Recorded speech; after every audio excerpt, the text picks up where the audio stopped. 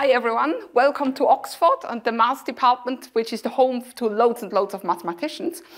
Uh, I'm Melanie Rupflin, I work here in geometric analysis, and I'm just going to give you a little bit of an introductory talk and maybe also just encourage you to think up some questions to then take and go outside to talk with the people of the different research groups about PhDs. So let me just start off with a very basic question of why do we want to do a doctorate? Or maybe actually let me start at the end and start with where can a doctorate lead? So of course, some of you are interested in doing a doctorate because you are thinking of doing an academic career afterwards. And doing a doctorate is really the first step to, beco to become basically a researcher. So you can think of it as a little bit as an apprentice of becoming a mathematical, apprenticeship of becoming a mathematical researcher. But this doesn't mean that everyone who does a PhD will go on into the world of academia or that everything that you learn during a PhD is only useful in academia. So there's lots of places to go after uh, a, a PhD. Of course, I said, academic life or higher education is one of them, but we have PhD students going into banking, industry, research, teaching, basically everything. So we just want to basically say that if you are doing a PhD, you're not committing yourself yet to a particular path in life, but you're taking a first step and that might lead to an academic career, but that might just as well lead to somewhere else. And I think that's okay um, to do. Now, one of the things, again, doing a PhD, you're not just learning about academic life, but you're learning lots and lots of skills. And these are also skills that other employers like. So they like that during a PhD, you really have to become independent. You have to be resilient of dealing with the same problem day in, day out, and usually things just going wrong most of the time and then succeeding sometimes. And I think that is really building a lot of good life skills. And so if you are doing a PhD, you learn things, you're becoming more mature or more autonomous, you're actually questioning a lot of things. So these are things which are useful in life, whether it's in academia, in industry, in real life. So yeah, okay. Now, of course, you are here because you're considering the question, not just is it worth for anyone to do a PhD, but really is it worth for me? Is it the right thing for me to do a PhD? And maybe where should I do my PhD? And who should I do my PhD with? So first of all, if you just ask yourself, well, is it a good idea? What's the most important thing to do a PhD? Well, really, you should love the subject and you should basically want to go off and do more math. That's the main motivation of doing a PhD.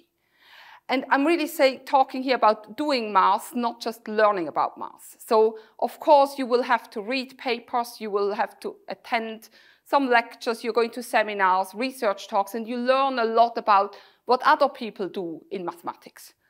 But the big difference to a degree is you're actually going off and doing it yourself. And for me personally, that was the reason I wanted to do a PhD. I just had so much fun proving stuff during my master's that I just wanted to continue proving more stuff.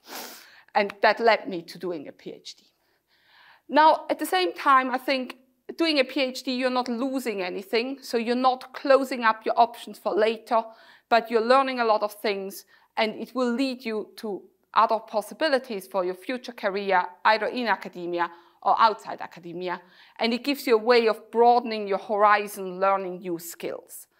And I think here it's also important to say this is not just if you go to the applied side of mathematics where you see more immediately the skills that you learn by coding and so on, but also PhDs in pure mathematics, even if you do not do so much of the sort of practical things that employers might look for, you're going to learn a lot of other, have another transferable skills.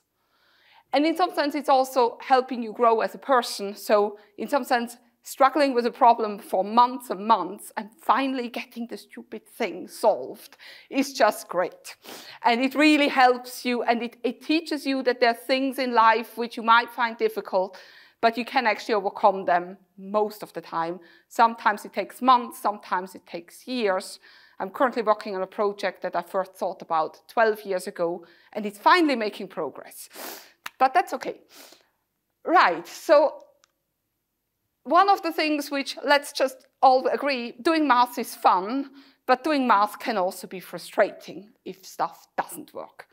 And just a fact in life is if you do a PhD, most of the time things will not work, but or you will not see that what you're doing actually leads towards the solution. But you make very, very small steps, then a proof dies again, and you go back and you start something new. So you have to have motivation and some resilience, and you have to be okay with spending time on the same project for months at a time. But you don't have to do it alone. So I think one of the things is that you're, you're not on your own with your problem. There are always people around you, or at least you should make sure that where you do your PhD, there's people around you who you can talk with. There will be some people in a very close circle who actually understand what you're doing. That will be your supervisor, maybe some PhD students working with the same supervisor in the same group. But there's going to be a lot more people who are in the same boat of my proof doesn't work, my code breaks down and my computer crashes all of the time, who might not understand your specific problem. But you can talk with them and you can discuss common problems that you have. Sometimes even just explaining to someone what the problem is can really help you work out what you're doing because you have to clarify everything. So you need independence, you need responsibility, you need resilience, and you just also just you need to have fun doing mathematics. I think that's the most important thing. Now, if you've decided PhD is what I want to do, and I guess quite a lot of you, this is what you have decided, and that's why you're here, then comes the more practical part of where do I want to do a PhD and who do I want to do a PhD? And here really the first thing to talk yourself, to talk about yourself is what's my motivation? Why do I want to do it? And do I understand what research involves? Do I understand what it means to just do math and not just learn about math? If you answer that positively, then PhD might be really something for you. Also, if you're unsure about that, because you might never have spent a few months thinking about the project, I think most of you will not have done that, that's okay. But it's the sort of the smaller things of do I enjoy really, you know, struggling with a, with a problem from a problem sheet? And am I happy if, you know, I just can't get it done, but finally I get through it? So that, that's a good indication that you will like doing a PhD. And now if, you, if you're unsure about it, really talk with students who currently go through sort of the, their first stages of a PhD or people who have just done the PhD, have finished, to find out a little bit more about this. Okay, then one of the important things, and that really will also decide of how much you will enjoy doing a PhD, is get the right subject area for yourself. Find out what am I really interested in. Not necessarily which area has the fanciest theorems or fanciest questions out there, but for what area do I think I will enjoy getting my hands dirty and do it. So do you enjoy proving things by you know, estimating things like that? Do you enjoy coding? Do you enjoy the very abstract thinking and trying to see, yeah, you're trying to, to, to find common patterns in there. So you will know a lot from undergraduates about what is out there in mathematics. You will have felt that for certain subjects you really enjoyed the problem sheets. For others, you really liked the lecture but really didn't like solving the problem sheets that is a good indication of where, in some sense, your interests might lie. Then don't be influenced about, of course, a lecturer can influence how much you enjoy a lecture. Don't be influenced by that. So both in the positive way and also if you didn't like the lecture, that doesn't mean you will not enjoy the corresponding subject. It might not be that you want to do a PhD with a lecturer you don't like, but maybe the subject is still for you. And also keep an open mind. So often at undergraduates, the sort of the syllabus is, you know, it's the things that have been done quite a few years back. And a subject evolves from that. And so try to find out what is it really like doing research in that particular field today. What does it involve? Look at some recent, for example, papers, ask, look at what the supervisor that you have in mind has been doing and find out whether that type of mathematics is something for you. Okay, then there's another thing to decide if you're more interested in the more applied subjects, whether you would prefer to have a more project-based research, working possibly with an industry partner. Again, this is something I cannot say much about because I'm working in pure mathematics, but if you're interested in this, these are questions you should ask outside where you will see the research groups of how does that work, is that a possibility, what are the advantages of it, and so on. And then comes the dreaded question of how do I find the right supervisor for myself? So first of all, what you're interested in decides of who do you even look at as potential supervisor. So you want a supervisor who's interested in the type of things you're interested in, or at least in the type of sort of mathematical, you know, sort of doing math that, that you want to do. And then you want to find out a little bit about them about their research. So there's loads of resources out there. Since the pandemic, even more. Everyone that has been giving a talk in the last three years will probably have a talk on YouTube somewhere. You can actually see people talk about their research, and that gives you a bit of an insight. You can look at their papers on arXiv, You can look at their home pages and, and see what they've been up to and you can chat with people. Feel free to also approach a supervisor. And of course, here in particular, the whole point of this open day is also getting you in touch and allowing you to chat with people. So there will be the stands outside of each of the research groups. And then you might go to a particular research group and then there's the person there you're not interested in talking with because they might work in a particular area of the field that you're not interested in. Just ask them whether so-and-so will also come some of us will be there for half an hour, for an hour. So if you find out when the relevant person is around, you can chat with them. And then also to get an honest opinion of what it's like doing a PhD with a supervisor, chat with the students. That's also helpful. Find out how does it work? How are the dynamics in a group? Are students chatting a lot with each other? Does it fit with your style? of what you expect of a PhD. Not every PhD student wants the same level of supervision. Some people are very happy to just be able to go off for a few weeks and solve something and don't like having to come every week back to the supervisor and say what they've been doing. Others really would like to meet more often, would like to collaborate together with a supervisor. So these are questions you can just ask how it is. Then choosing the supervisor really the first thing in some sense what you do. But of course, you're not just going to talk with the supervisor, hopefully, during a PhD. That would be pretty lonely. But the good thing is you, you are actually at an institution and you want to talk with people at the institution. You want to profit from what else is going on out there. So you want to ask is, where do I go, want to go and is it for the right reasons? And it's not about the nightlife so much or I don't know what else. It's really about is the, the place mathematically the right thing for me? And are there supervisors there who I can see myself working with? Then just as importantly is, are there young people around who I can chat with? Are there other PhD students both in the wider department and in particular in your research group. So these people that you can share frustration with and who will not run away scared, uh, scared if you tell them something about, in my case, a partial differential equation, and who will be happy enough to just chat with you about sort of the wider topic. And are PhD students doing things together? So is there an active sort of research community and some other activities going on? what kind of research is done at the institution, and also do you have a chance of taking part in seminars? So seminars give you a sort of a view towards the wider research community and a really good, you, are going to spend most of your day as a PhD student in a little corner of mathematics where you're going to try to sort out your own problem, but then you still want to have a bigger view for both of your research field and also of what else is out there, what other techniques are people using, what other questions are they interested in. So having seminars is great. Some final advice is yes, find a good supervisor, that's really important. Find a place where you feel like you belong to and keep an open mind and also really trust the advice of people who have been there and done that.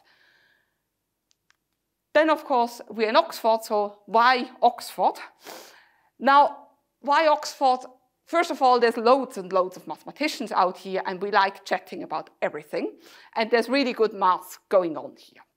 So we are having this big common room, which the picture is in some sense wrong. You hardly ever see it empty. So usually there's lots of people in the common room. Some of them will be doing mathematics, others will be eating pizza, but both of them are important because you will find people who are happy to chat about mathematics, about something else, and you're just involved in a big community.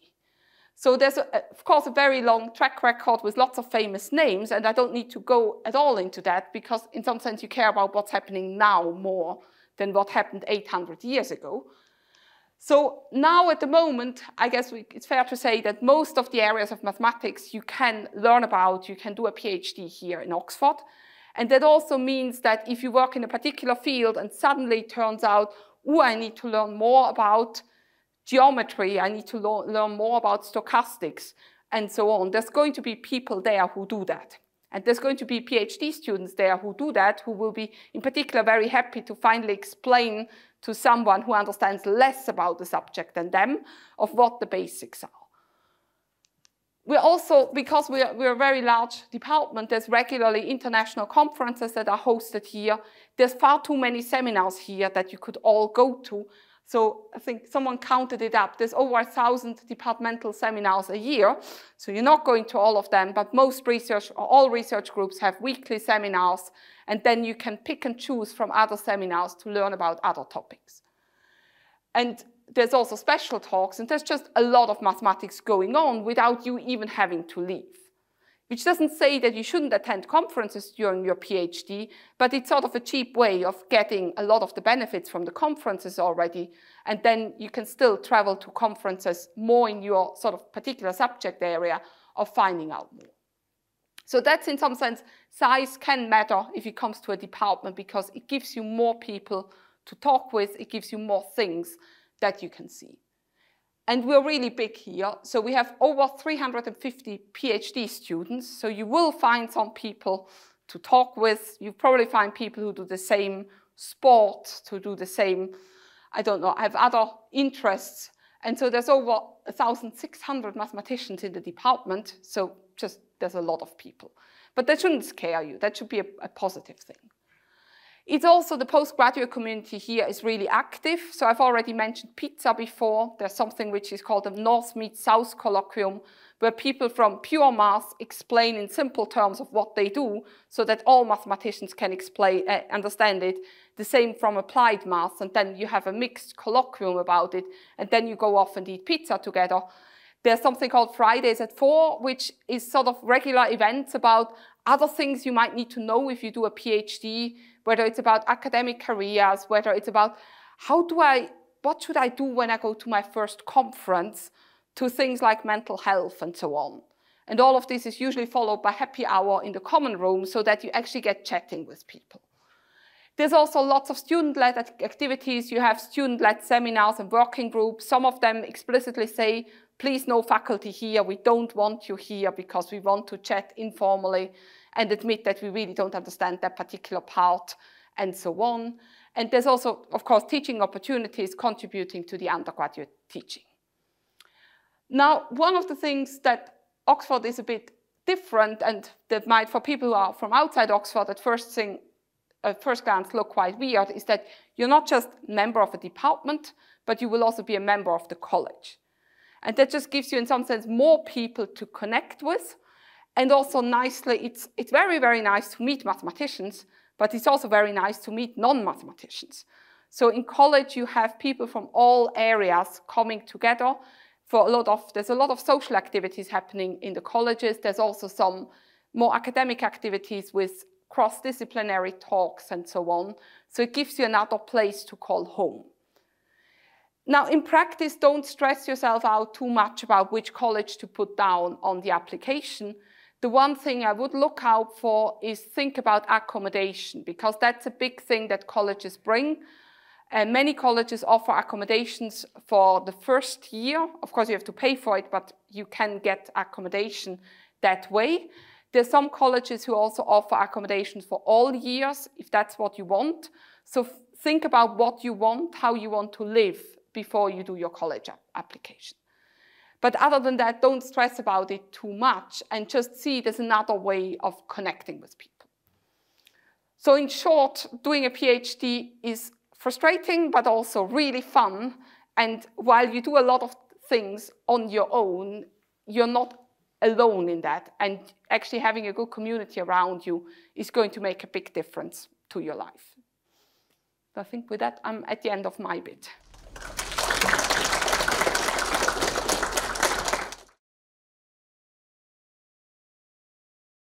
Hi, everyone. Um, I'm Rhiannon. I'm a second year DPhil student in algebra. Um, so I'm going to be talking a bit about my experience doing a gap year after my undergrad. So I did my undergrad at Oxford, took a year out and started my DPhil, um, and also talk about things I'm involved in the department. Um, so I guess like if there's quite a lot of misconceptions about doing gap years after your PhDs, um, this idea that you'll get really rusty. I don't know, I mean, like, I don't think you'll lose that much maths, personally. Um, it really depends on which subject area you do as well, but in my experience, lots of people here have taken years out. Some of them might have had done, like, worked in, like, finance jobs for four years and then gone to a PhD. So doing a PhD at any age is very accessible. Um, so in my gap year, I worked as a maths teacher for a year, um, in a secondary school, I also did a bit of research on the side, kept in contact with my master's supervisor, etc. Um, I felt quite confident doing that. I knew that I needed it for my kind of a little break after my undergrad, which I felt was quite intense. Um, and I talked to my now supervisor at the end, beginning of my fourth year, and he really supported me with that decision. Um, if you do want to talk to me about doing a gap year, please do afterwards. Uh, so I started my PhD last year, and um, my day-to-day life consists of lots of kind of struggling with algebra, learning bits of geometry, topology. Um, I think I'm quite interdisciplinary in what I do. I work in kind of derived, um, a new approach to derived analytic geometry. So I incorporate lots of ideas from topology, algebra, and geometry in my research. Um, on top of that, I also do teaching. So rather than teaching 12 year olds, I now teach first years. Um, but similar in some ways, different in others. Um, and so I really enjoy that experience. It makes me feel really connected with my college as well. Um, and it's also just good to have a bit of boost to your like finances. Um, so most like PhD programs include some teaching requirement um, and I definitely would embrace that. It's a really good opportunity to feel good in your abilities in maths, um, as well as kind of get involved in the department and meet young students. Uh, so aside from teaching, I also run uh, Mathematrix, which is the um, a student-led discussion group for min minorities in maths.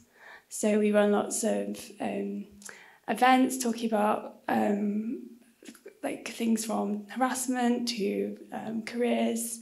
And we also do lots of um, events such as we did a women's only formal a couple of weeks ago.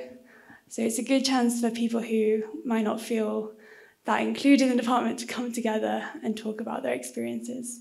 Um, the department is really, really good about these things, and there's loads of inclusion and diversity initiatives throughout the department. Um, so if that's something you're interested in, there's definitely places you can go for that. I think that's all I want to talk about.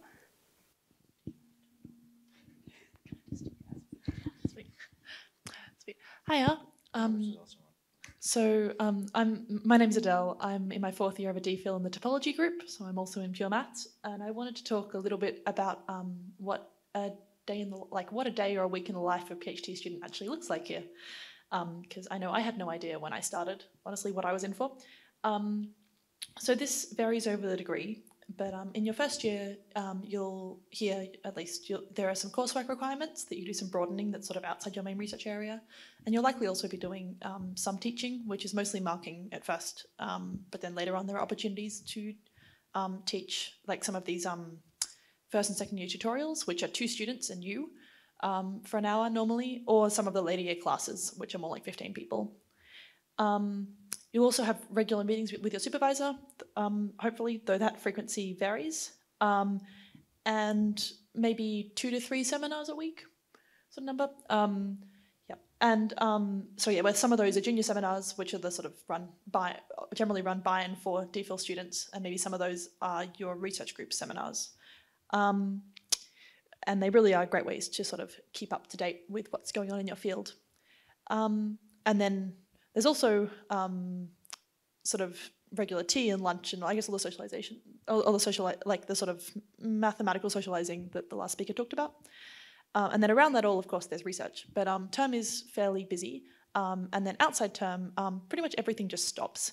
So there's still, you know, the department and and you know everything, you know, your office is still there, um, but it's a great time to really buckle down and get some work done, um, and you can and spend a solid amount of time um, thinking about problems without too much distraction, and also a great time to go to conferences where those are maybe two days to two weeks in um, uh, all over the world, and you get to um, they're a great opportunity to meet a whole lot of people in your research area, to hear about all sorts of maths that maybe aren't happening at like that's maybe different from what from what's happening at Oxford, and also to see some fun parts of the world.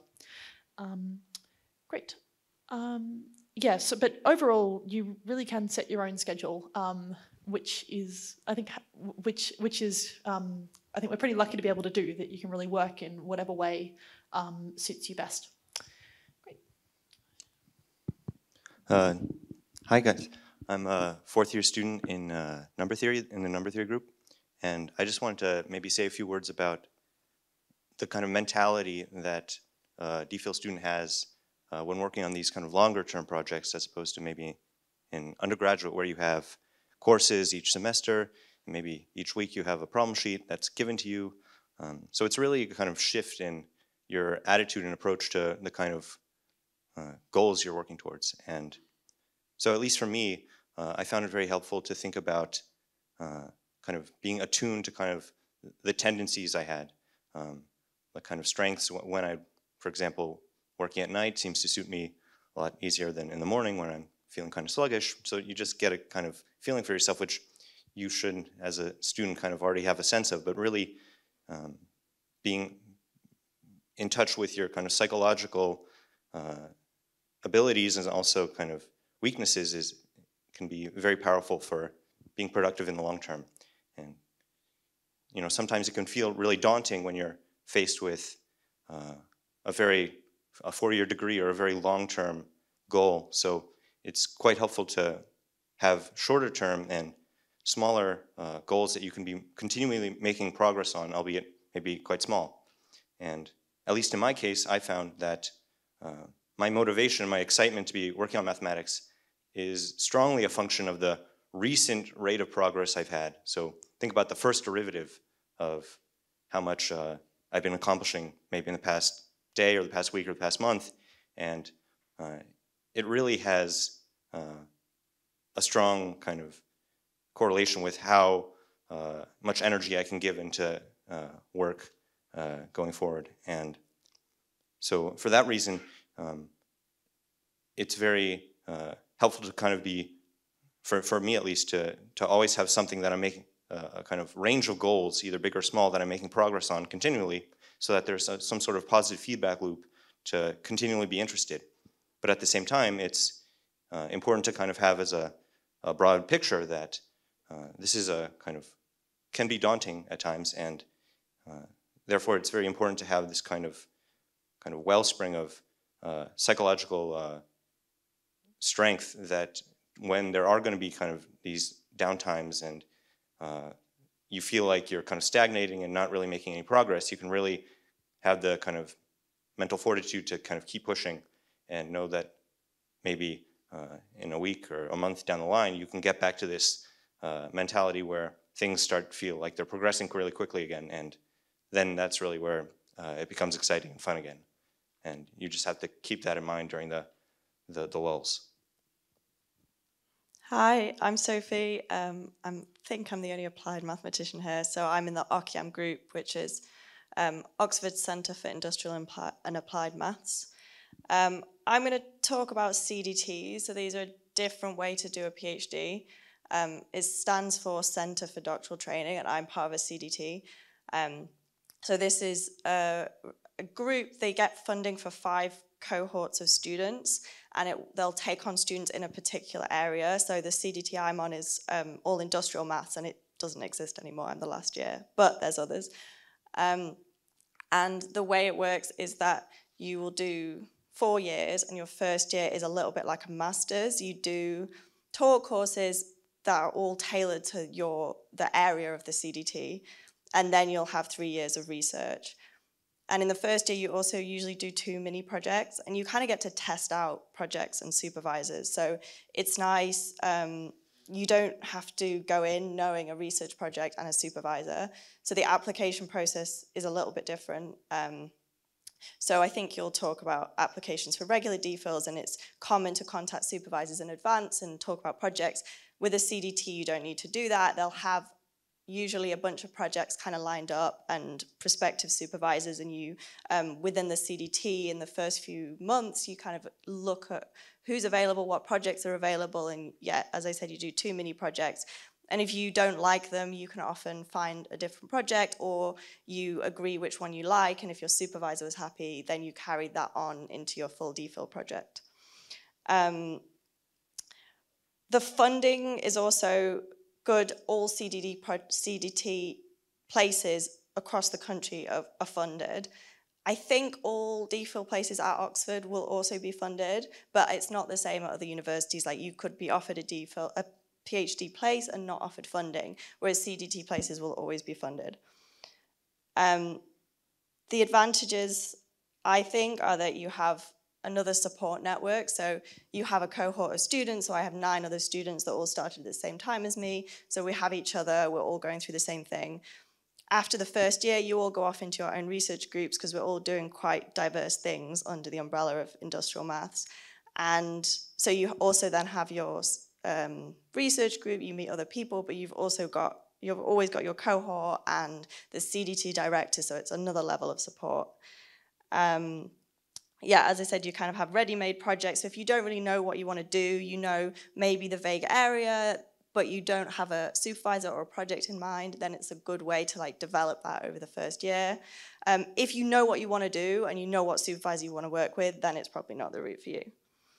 Um, there's one the, in the maths department at the moment called Random Systems, and they do kind of stochastic modeling, um, probabilistic things. There's also one called SABS, which isn't in the maths department, but a lot of their students come to the maths department for their project. So that's, um, SABS stands for Sustainable Approaches to Biomedical Science, I think. So they do their first year outside of the department and then they go off to different departments. Some go to chemistry or biology and a lot of them come here. Um, there is a current bid for new CDTs. So in the next two years, I think there might be another bunch. So depending on when you apply, there might be others available. Um, yeah, I think that's everything from me.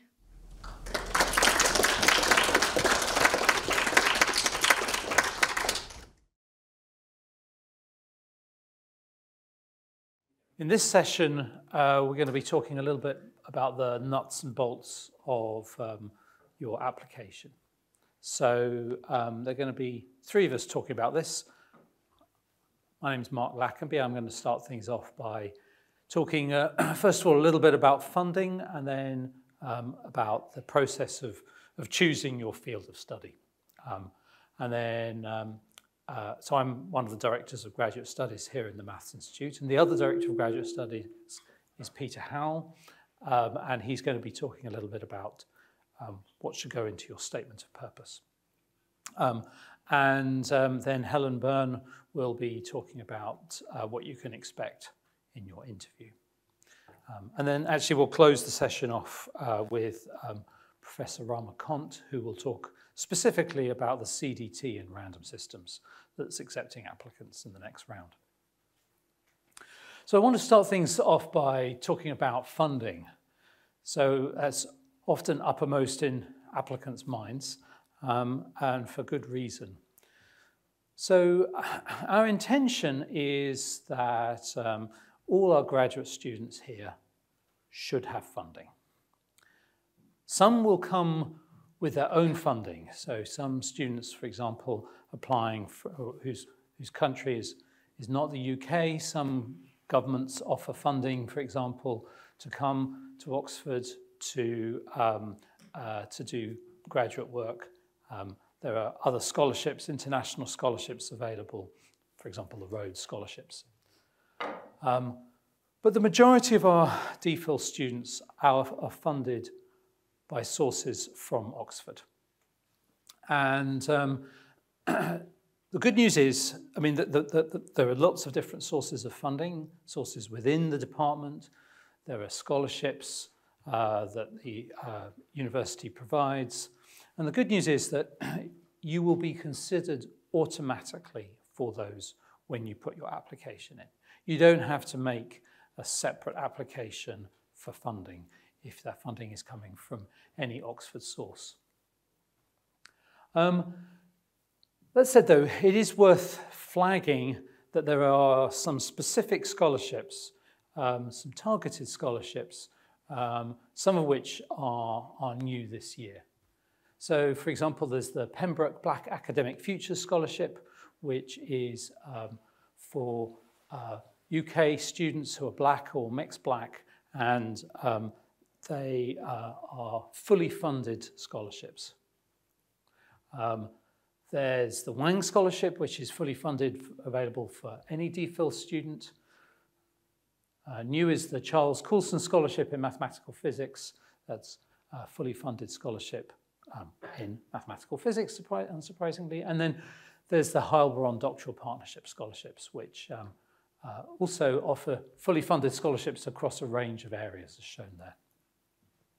So all of those scholarships you'll automatically be put forward for if you're eligible. You do not have to make a separate application. Okay, so now I want to go on to talk um, a little bit about uh, choosing your field of study. Um, and this is, this is not an easy process. Um, so when I was at the stage of, your, roughly your stage of applying for a PhD, um, I actually uh, was investigating um, potentially doing a PhD in America, and I flew across to, uh, to California. I looked at some of the universities around there. Um, and um, I was very kindly met by one of the directors of graduate studies, and um, he said, So, what do you want to study? And I said, Maybe topology, maybe combinatorics. And he said to me, you've flown halfway around the world and you can't decide between topology and combinatorics. I wasn't quite sure whether to be aggrieved or humiliated. Um, but the fact of the matter is that I hadn't decided between the two of those. And I imagine that many of you will be in a similar sort of situation. There'll be many different areas of mathematics that you like and that you might consider doing a PhD in. Um, and that's fine. Um, but nevertheless, it is really important that you do hone in on some specific areas that you want to study. On your application form, you have to put down what areas you want to study. You don't have to give, say, the title of your thesis project. That, that's not expected. But you do need to say something more specific than just pure mathematics. And preferably, uh, so I'm a topologist, you need to say something more specific than just topology. So, for example, low dimensional topology, or homotopy theory, or other different sub-branches of topology. And there are multiple reasons for this. One is that um, an unfocused application maybe suggests that you haven't put enough thought into what you want to study.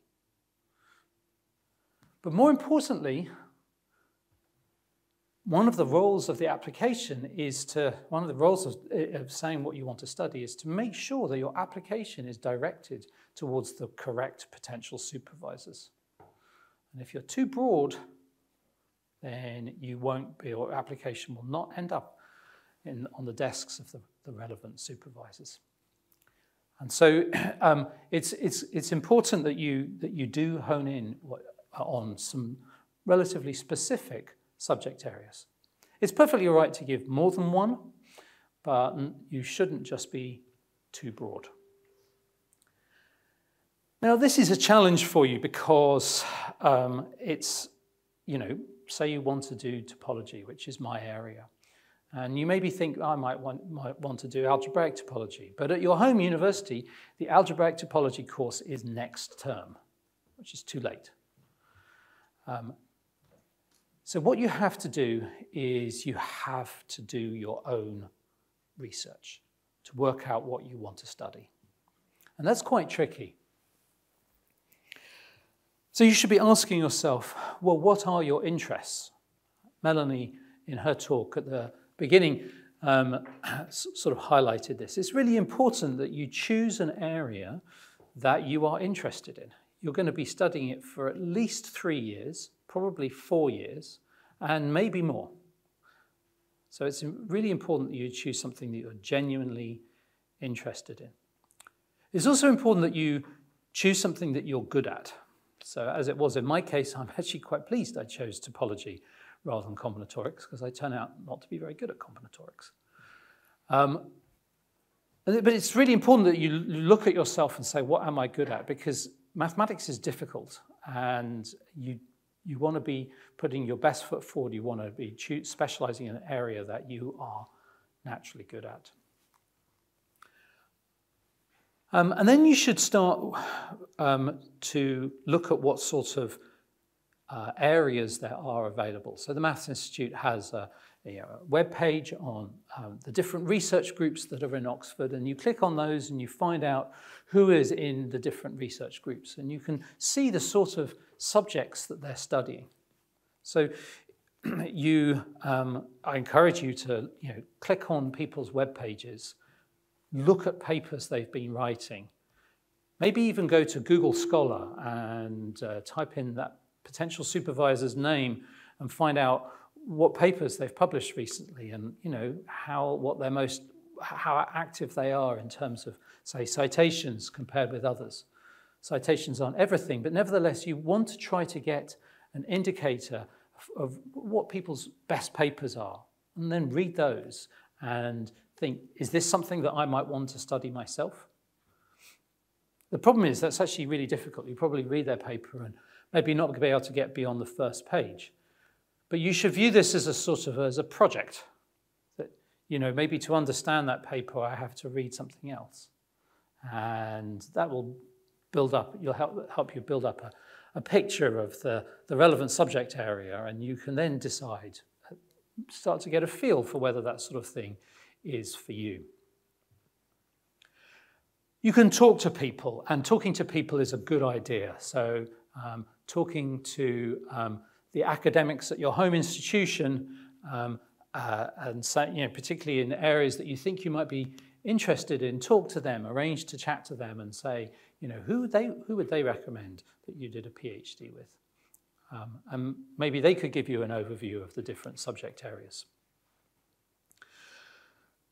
So it's a difficult process, but once you've honed in on a subject and potential supervisors in that subject, it is really important, and this is the one th message that I want you to take from this. It, I, in my view, it's really important that you reach out to those supervisors and say, Hi, I'm X.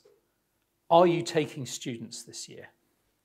Right? Because there's no point saying I want to work with Professor Mark Lackenby to do low-dimensional topology if Professor Mark Lackenby is not taking students this year because, I don't know, they're unfortunately Director of Graduate Studies. Um, they, it's, it's, it's really important that they are potentially taking students. you you could also maybe, uh, you may be able to ask you know, whether you could have a chat about, about potential research projects. Many academics are very busy, so you, you should bear that in mind. But nevertheless, a, a simple, quick email asking whether people are taking students is something that I would really encourage. Um, it just makes good sense.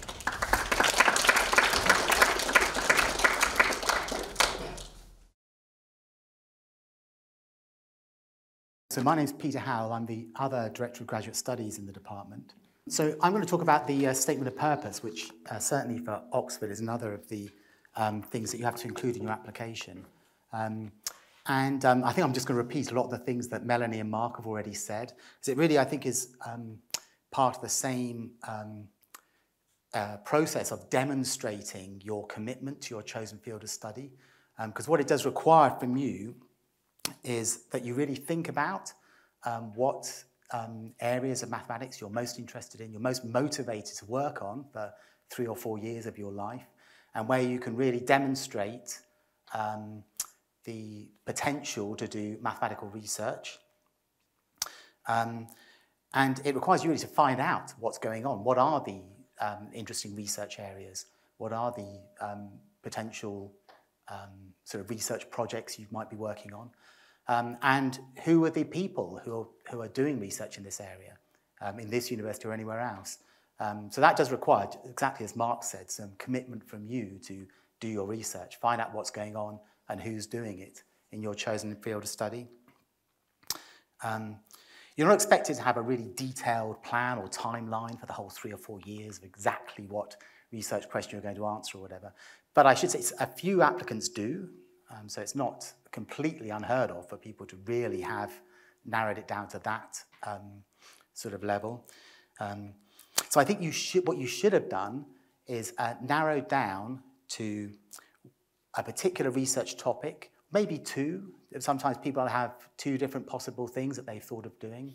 Um, um, and like I said before, where you're motivated really to work on that uh, area um, and where you can demonstrate uh, your uh, research potential.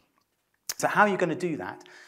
The same thing that Mark just said. So do re reach out to academics, either in your home institutions or, um, or potential supervisors here or elsewhere. Um, use the opportunity today. So outside this lecture theatre, you will be able to go and talk to our representatives of all our different research groups. So use that opportunity to go and talk to them, find out what's going on, um, who's in those research groups, uh, what they're working on, um, who's taking students, who isn't. Um, and, you know, just email people. Um, don't be too disheartened because people are very busy. Not everyone will respond immediately.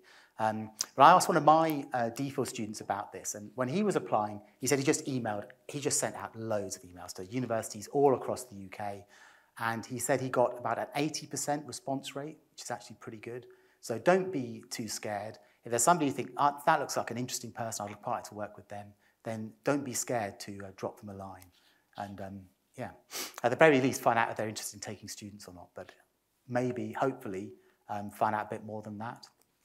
Um, um, so it's just some do's and don'ts, um, very general. So we don't really want to hear you know, about how you've loved mathematics since the age of three and you received your first abacus, whatever. Um, what we're really looking for is some more detailed uh, description about what you want to work on and why you want to work on that area. And then really, if possible, evidence. So evidence that you've got the ability um, and the experience um, that will enable you to uh, do high-level research in that area. So what that evidence might consist, on, consist of, of course, is um, courses that you've done, your exam results, or if you've got particularly good exam results in particular areas, um, if you've um, if you've done any uh, reading, so if you, you might have read some papers, done some self-study to find out a bit more about what's going on in low-dimensional topology um, or whatever. Um, and if you have had the uh, opportunity uh, to do a, a research project or an internship or something like that, then again, we want to hear about all of those. So these are real, not just sort of saying, I love mathematics, but actual evidence to demonstrate that you, your commitment to it and your potential for doing research uh, in your chosen area. So I think that's all I want to say. Um, I think I'm next passing on to Helen, who's going to talk about the interview process.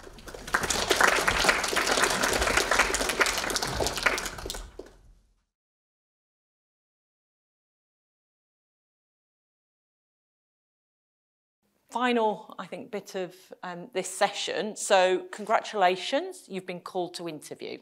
What's going to happen next? Um, and I guess there's two bits to what I want to talk to you about.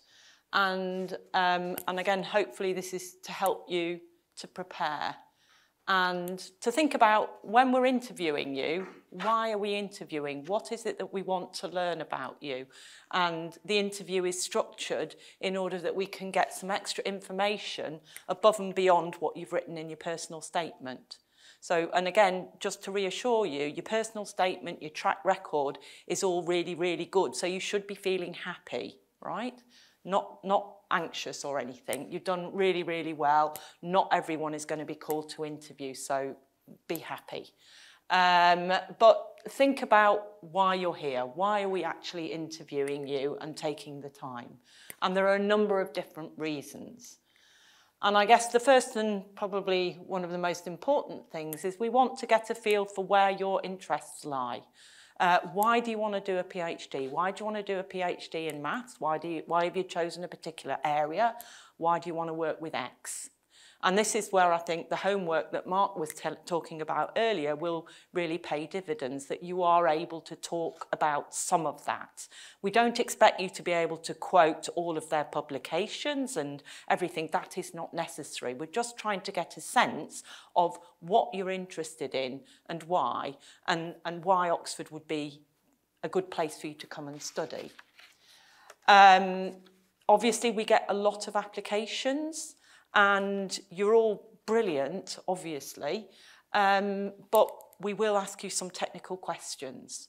And that's really, I guess, to sort of see, you know, that you live up to what you are on your piece of paper.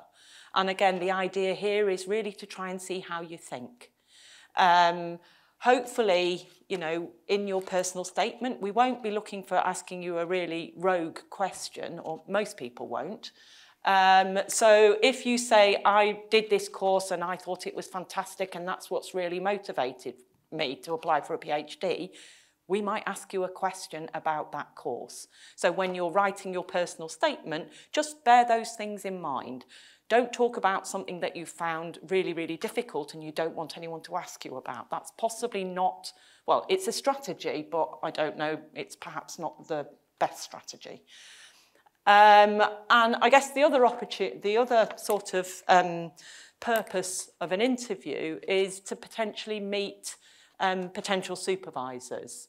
Um, if you have um, sort of indicated people that you might like to work with on your in your personal statement, then you might expect perhaps one of those to be present at your interview. And again, they may ask you more detailed questions and talk. And again, that's an opportunity for you to ask them about what a research project would be like.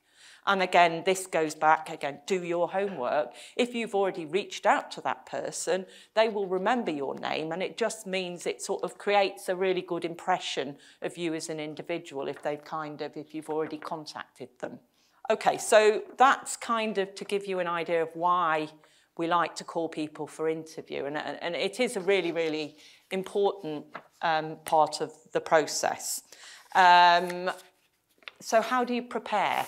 And again, if you think about some of the purposes of the interview, what we as interviewers want to learn about you from the interview, hopefully that helps you to think about how you can best prepare. And there are some fairly obvious things here. You've written a personal statement. What did you say in that statement? Things that you have written in there are fair game to ask a question about. Whether that be, I was inspired by Newton or whatever, and I've read his original sort of treatise, um, then someone might ask you about that. Uh, or whatever it might happen to be. I love such and such a course, um, somebody's really inspired me, I watched a thing on the TV, or whatever it might happen to be. Um, those would be all fair things to ask you about. So make sure you go back, read your personal statement, think about what questions might be embedded within what you've written, and make sure you've got a few words that you can say in answer to those sorts of questions. A natural thing to talk about or to ask you to talk about would be any research projects that you might have done. And that might be as part of your sort of degree program, or maybe you've done an internship, um, a summer project, whatever it might happen to be. Make sure that you are comfortable to tell somebody just for a few minutes about that project. And in particular, were what sort of equations were you dealing, what sort of maths, uh, what did you do, what did you learn, what did you enjoy.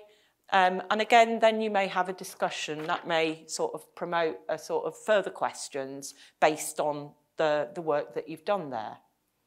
Um, again, as I've said, if you've been, maybe an examiner might say, what courses are you doing at the moment, right? And again, you can think, choose courses that you like, right? Because they might ask you a question about one of them. Make sure you're on top of those courses. Doesn't have to be an exhaustive list of everything, but a few that you really, really like and that you're good at, I would hope. And I guess, yeah, the final important thing is it can feel very intimidating coming into an interview and having to talk about mathematics. Um, certainly when I was younger, I, I found it very, very difficult. I was okay if you gave me a piece of paper and asked me to do a calculation, but actually talking about it can feel quite nerve-wracking. But just remember, you've been called to interview. You're good. You deserve to be there. So use that to try and relax. Um, it, it should be um, an enjoyable-ish experience um, to learn something about yourself, to just show off just how good you are and how much you deserve to be studying for a PhD. And I think that's all that I would like to say. I hope that's helpful.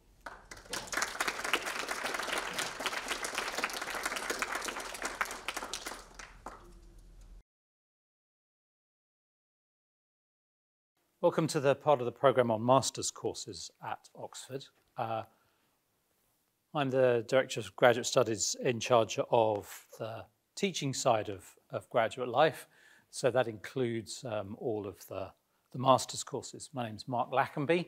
Um, I'm also a topologist and a, a geometer. Um, so I'm not going to spend too long on this. I'm going to mostly hand over to the various course directors who run our different master's programs. Just want to say a few short words. Um, first of all, what master's courses do we offer? Well, we're particularly proud of our master's courses at Oxford. We have roughly 200 students per year come to Oxford um, to study them, um, and there are five of them. So um, there's the Masters in Mathematical Sciences, um, which um, runs parallel with our fourth year of our undergraduate course it's an extensive program of courses um, across mathematics. Um, and then there are um, somewhat more uh, focused courses. So there's the MSc in Mathematical Modelling and Scientific Computing. Um, there's the Math MSc in uh, Mathematics and Computational Finance. Um, there's a, a, a, joint MSc with um, the Department of Computer Science, which is uh, in mathematics and the foundations of computer science. And there's an MSc in uh, mathematics and theoretical physics, which is run jointly with the physics department. So the various course directors are going to tell you about each of those shortly, but mostly what I want to tell you about is um, what funding opportunities there are for our master's programs. So master's programs uh, for, uh, uh, if you're a home student, you are eligible for um, uh, student loans, um, just in the same way that uh, an undergraduate would be. Um, but there are various uh, specific scholarships that we uh, offer, some of which are new and um, which are targeted scholarships, um, which we are very excited about. Here they are. There's the uh, Optiver Foundation scholarships, the Jane Street Graduate Scholarships, and the Martingale Foundation um, postgraduate scholarships.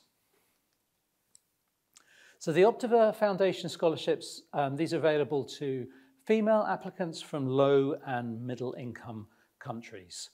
Um, and um, uh, a scholarship covers the cost of any master's course um, in the Maths Institute, with the exception of um, the mathematical and computational finance. Um, there's no need to make a separate application for, for that particular uh, scholarship. Um, when you apply for one of these courses, you will automatically be considered for the scholarship if you're eligible for it. But nevertheless, it's worth highlighting that uh, these are uh, very nice scholarships, and if you are eligible for them, then I do encourage you to uh, put in an application uh, for that relevant master's program. And you can find more information on that scholarship um, on um, uh, uh, the fees and funding pages of the Oxford University website. Um, there's the Jane Street Graduate Scholarships. So these are four fully funded scholarships. Um, they're available to uh, UK students who are black or mixed black. Um, and um, again, no separate application is required.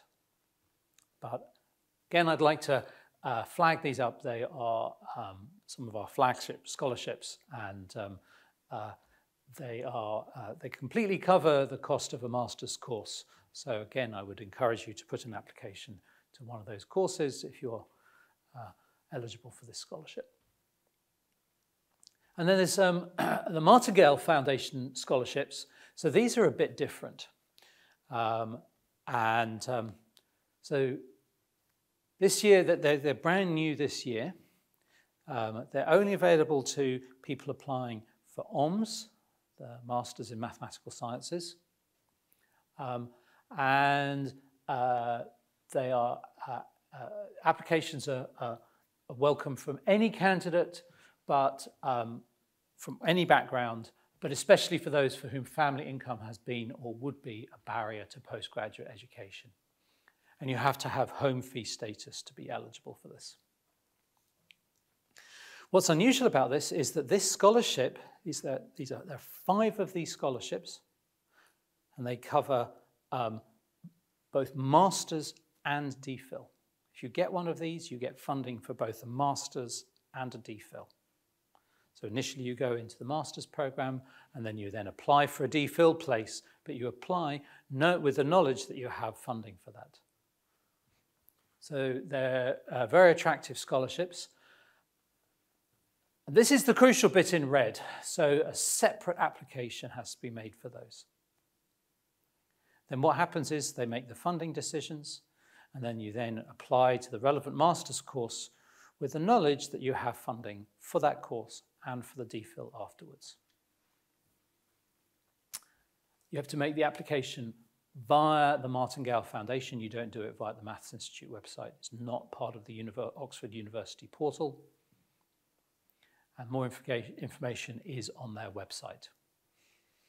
So we're very excited about these scholarships. It's great to be partnering with the Martingale Foundation